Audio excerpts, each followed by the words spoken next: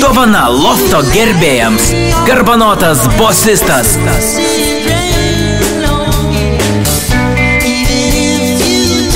Kartu su eksperimentinės indie muzikos alchemikais Without Letters. Gruodžio 5 dieną menų fabrike Loftas. Nemokamai. Renginio radijas ZipFM. Daugiau informacijos menufabrikas.lt.